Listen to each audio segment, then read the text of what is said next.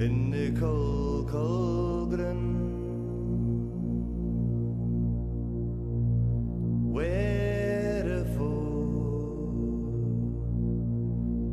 many men have gone. Lay me down